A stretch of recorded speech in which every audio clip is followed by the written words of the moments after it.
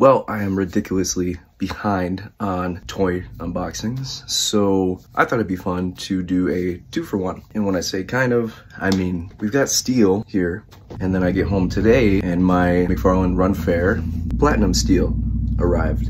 So I'm behind, and I thought, well, let's just open both of them right now. What do you think? Action figure unboxing time. Let's go.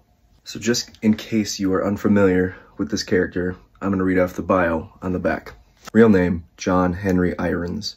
During one fateful day at a construction site, Superman saved former engineer John Henry Irons' life. Following Superman's deadly battle with Doomsday, Irons took up the mantle prote to protect Metropolis. Using his technical expertise, Irons constructed a powerful armor suit, adorned with the iconic S shield as a tribute. John Henry's armor granted him super strength and flight, Irons also developed a weaponized, self-propelled hammer in honor of John Henry's American folk hero namesake. After Superman's return, Irons continued his work on two fronts, aiding the world through technology with his company Steelworks and protecting the skies of Metropolis as steel. So this figure comes with one accessory. It is his hammer.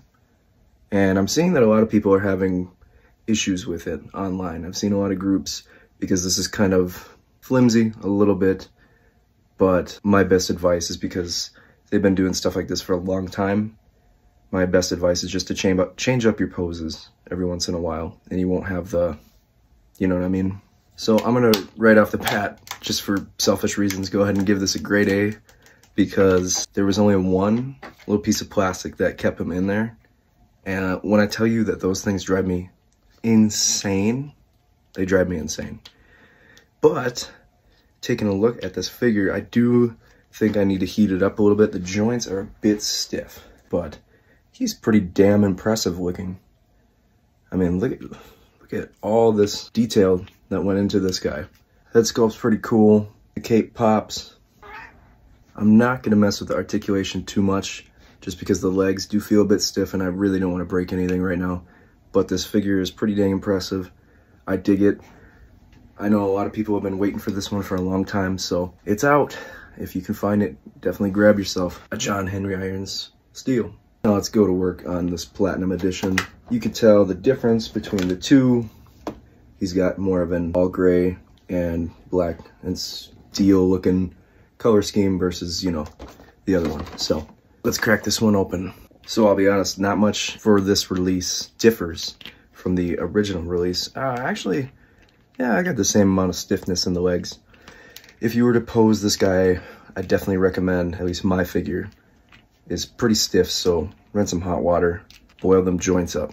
But man, this figure looks pretty sweet. I'm glad that I had the chance to win this particular action figure. I can't tell which one I like more though. I don't know, they're both equally really cool. Check it out. Yeah, I mean, they both platinum, regular, platinum, regular. I don't know. What do you guys think? Which one's the cooler of the two steels? Let me know in the comments, but I'm gonna give this a grade A.